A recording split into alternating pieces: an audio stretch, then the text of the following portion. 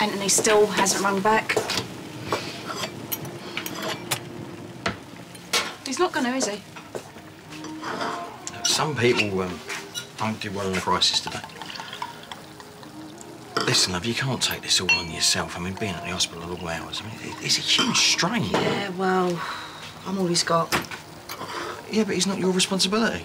Then whose responsibility is he? I didn't